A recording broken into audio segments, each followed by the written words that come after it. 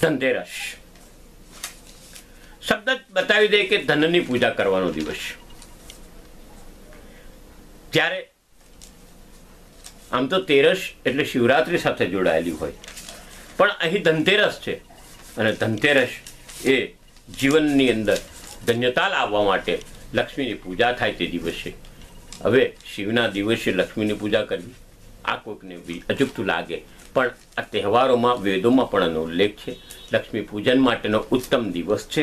અને સૌભાગ્ય લક્ષ્મી ધનલક્ષ્મી, વિદ્યાલક્ષ્મી, ધાન્યલક્ષ્મી વગેરે ઘણી બધી લક્ષ્મીઓ છે.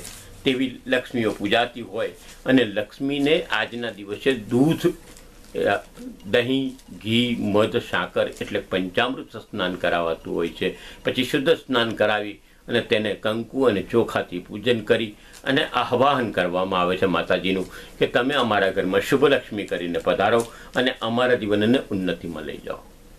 એવું કહેવાય કે ખરાબ પ્રકારે આવેલી લક્ષ્મી ઘરમાં દારૂણ્યતા લાવે છે.